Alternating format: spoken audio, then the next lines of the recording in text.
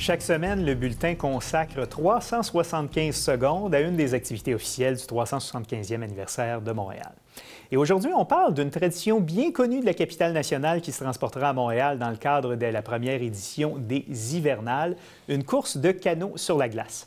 Et nous avons avec nous en studio un navigateur qui est aussi organisateur du défi canot à glace, Simon Lebrun. Monsieur Lebrun, bonjour. Bonjour. Bienvenue au bulletin.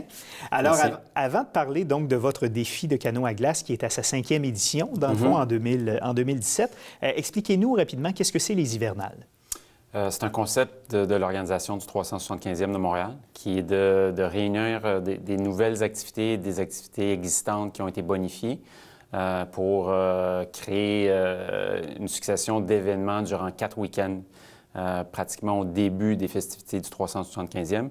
Et donc, on fait partie de cette programmation des hivernales du 375e. Donc, qui met en valeur des activités extérieures qui ont lieu l'hiver. Absolument. Voilà.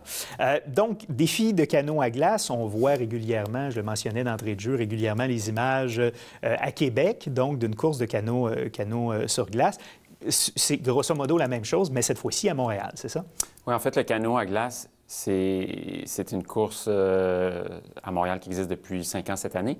Euh, les gens pensent beaucoup que c'est l'histoire de, la, ville de Québec, mais en fait, c'est une histoire intimement liée au fleuve. Le canot à glace, c'était une embarcation qui permettait euh, aux riverains de traverser le fleuve, aux insulaires de se rendre jusqu'aux îles, mais partout sur le fleuve. Avant d'être un sport, c'est un moyen de transport. Tout à fait, c'est une embarcation traditionnelle. On transportait les gens, les vivres, le, courrier. Et euh, bien qu'il y, ait eu davantage de canots à glace dans la région de Québec, il y avait des canots à glace à la même époque à Montréal. Et il y a plusieurs photos superbes euh, au Musée McCord d'ailleurs qui, euh, qui, en témoignent. Et donc, c'est pour ça que j'aime dire que le canot à glace, là, c'est devenu un sport, mais c'est vraiment l'histoire de du fleuve euh, lorsqu'on en parle et c'est euh, devenu un circuit de course. Donc, il y a une course encore à Québec, il y a une course à Montréal, mais il y a cinq autres courses partout sur le fleuve. Et donc, c'est un sport qui est quand même bien encadré, chapeauté par un circuit. Et donc, on est une des sept courses qui aura lieu cet hiver. Et parlez-nous d'ailleurs du parcours montréalais donc de canot à glace. c'est une épreuve qui, est très exigeante quand même. Quand même. Et euh, on est une des sept courses, mais on, trouve, et on aime dire que le parcours est le plus beau. Euh, c'est un parcours de proximité, donc euh, le fleuve étant ce qu'il est, à certains endroits au Québec, il est très large, ou plus large qu'à Montréal. Euh, on a la chance d'avoir le Havre de Montréal dans lequel on organise le parcours et on, fait la course. Et donc, les gens, quand ils viennent voir la course, sont très près euh, des sportifs, des canaux. Donc, c'est excitant du début à la fin. Et le parcours, euh, le départ et la fin de la course se donnent à partir du quai de l'horloge. Il y a un bassin qui est gelé et où il y a une marina l'été, c'est le, Yacht Club de Montréal. Donc, on donne le départ de cet endroit-là. Et lorsque les canaux sortent du bassin, ils se retrouvent dans une zone à fort courant qui est le courant Sainte-Marie et ils doivent remonter jusqu'au silo numéro 5, en fait, qui est le bassin Alexandra, dans ce secteur-là. Et à cet endroit-là, ils tournent autour d'une bouée et ensuite se dirigent vers Habitat 67, tournent une seconde bouée et redescendent vers l'île Sainte-Hélène, le parc Jean-Drapeau, où il y a une troisième bouée à tourner. Et là, reviennent ensuite à l'horloge. Donc ça, c'est un tour euh, du circuit que les équipes devront faire. Et il y a trois catégories de sportifs dans la course. Et euh, par exemple, élite homme, fait quatre tours comme ça en moins d'une heure et vingt. Donc, euh, c'est quand même assez rapide. Voilà. Et quel est le profil des participants? Parce que j'imagine il faut être en forme quand même pour participer à une épreuve comme celle-là. Il faut être en forme, mais euh, il y, a des équipes, euh, il y, a une catégorie de, sportifs qui est de catégorie sport. C'est des, équipes qui ont moins de temps de s'entraîner, qui ont moins de budget, mais qui le font beaucoup par plaisir et par plaisir d'aller sur l'eau l'hiver entre amis. Oui, il faut être en forme un minimum, mais euh, ce n'est pas nécessaire de s'entraîner à tous les soirs pendant des mois pour être capable de faire du canot à glace. C'est quand même un sport euh, très accessible. D'ailleurs, il y a des nouvelles équipes à Montréal qui se créent et ce sont des gens euh, qui sont dans ces équipes-là qui sont des, nouveaux venus au canot à glace et qui ne sont pas tous des, athlètes de haut niveau et qui réussissent très bien. OK. Et il y a donc la course qui aura lieu le dimanche 12 février.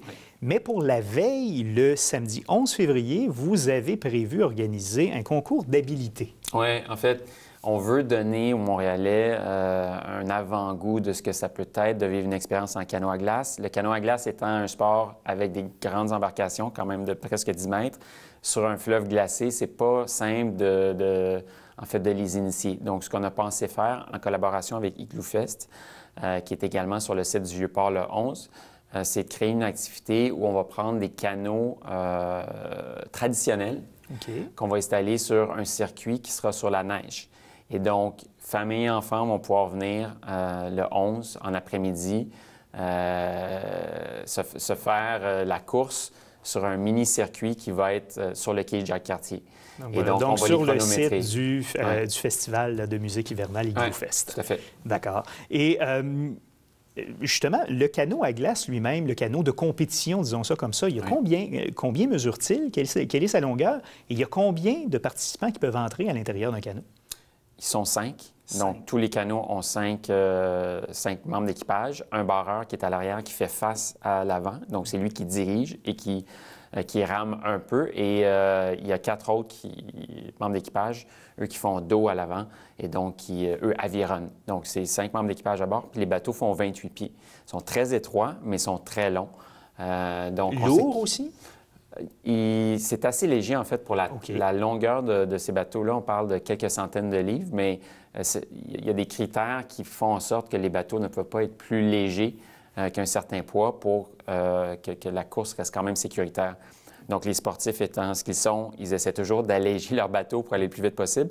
mais si on laissait faire, finalement, ces bateaux-là seraient trop fragiles, ils risqueraient d'avoir des accidents. Il y en a très peu. Donc, mais ces bateaux-là, pour faire près de, 10 mètres, sont très légers et donc très rapides quand même. Et en terminant, il nous reste quelques secondes. Euh, comment, euh, qu'est-ce que vous nous diriez pour nous convaincre d'aller assister sur les bords du fleuve Saint-Laurent à la course de canot au mois de février? Un, c'est gratuit. C'est une activité euh, qui est accessible à toute la famille. Il n'y a rien de plus excitant que voir des canots au mois de février sur le fleuve Saint-Laurent qui se battent les uns contre les autres puis qui doivent affronter le courant Sainte-Marie avec de la glace. Puis c'est en fait, nous, on fait ça, notre organisme, pour rapprocher les gens du fleuve. Puis c'est une façon de partager notre passion pour le canot à glace et, le fleuve, et ça rend personne indifférent euh, que venir voir une course de canot à glace. Donc, il faut, vraiment l'essayer pour, euh, pour l'apprécier. Voilà, et profitons de l'hiver pour sortir, mettre le nez à l'extérieur. Absolument. Donc, Simon Lebrun, vous êtes euh, l'organisateur du défi canot à glace. Merci d'avoir été là et bon succès pour votre événement. Merci.